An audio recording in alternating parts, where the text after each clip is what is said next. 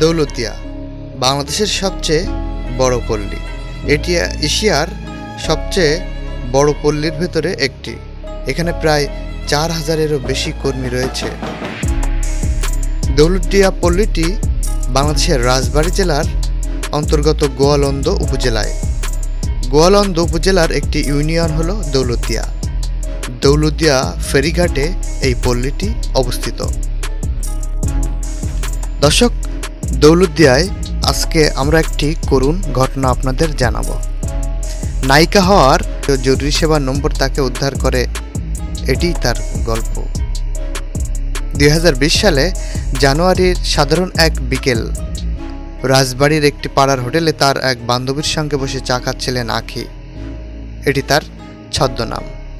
জ্ঞান হারিয়ে ফেলেন। কয়েক ঘণ্টা পর ফিরলে সব কিছুই ঝাপসা লাগছিল তার। কিছুটা স্থিতিশীল হয়ে ওঠার পর নিজেকে আবিষ্কার করেন এক জরাজীর্ণ ছোট রুমে। কেবল একটি কালো দরজা থাকলেও সে রুমে ছিল না কোনো জানালা। রুমটি নোংরা, দেওয়ালে ক্ষয়ে যাওয়া রং চিৎকার করে যেন জানান দিচ্ছিল জীর্ণতা ও হতাশার। ঘটনার আকস্মিকতায় সম্বিত আকি তখনও বুঝতে পারছিল না কি করে ওই ঘরে এলেন। তবে তার শ্বশুরবাড়ির পক্ষের সেই বান্ধবীর সঙ্গে বসে চা খাওয়ার বিষয়টি ছিল তার মনে পড়া। সর্বশেষ ঘটনা। আশ্বাস দিয়ে আকিকে সাভার থেকে দৌলতদিয়ায় নিয়ে এসেছিলেন সেনারি অন্যদিকে, শ্বশুরবাড়ির করুণ নির্যাতনের শিকার আখি এ সুযোগকে বেছে নিয়েছিলেন। নিজ দুরবস্থা থেকে মুক্তির উপায় হিসেবে। বদ্ধশী রুমে বসে তিনি তার বান্ধবীকে বলতে শোনেন, আমি ষাট হাজারের থেকে এক পয়সাও কম নেব না। আঁকি ভেবেছিল হয়তো তার আসন্ন সিনেমার পারিশ্রমিক নিয়ে বাইরে কথাবার্তা চলছে। কিন্তু শীঘ্রই বুঝতে পারেন তাকে আসলে এক দালালের কাছে সোপার্দ করা হচ্ছে। এই উপলব্ধি কিছুক্ষণের মধ্যেই তার স্বপ্ন ভেঙ্গে চুরমার হয়ে যায়। মাসের পর মাস ধরে কেঁদেছে আখি, বারবার মিনতি করেছে তাকে ছেড়ে দেওয়ার জন্য। অসংখ্যবার পালানোর চেষ্টা করেছে, কিন্তু কোথাও দিয়ে পালাবে, কোথা দিয়ে বাহির হবে সেটা ভেবে পাচ্ছিল না।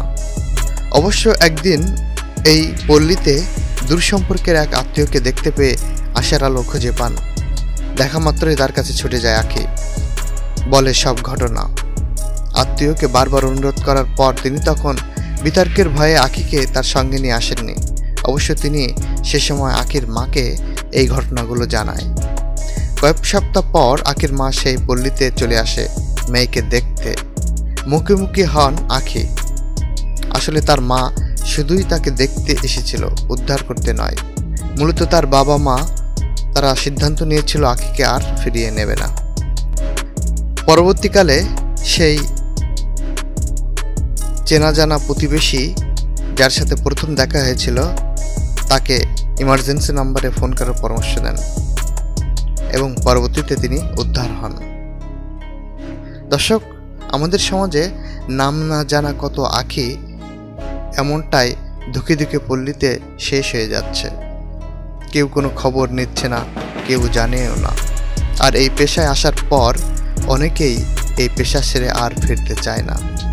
কারণ সে তো এই অন্ধকার জগতে চলে এসেছে।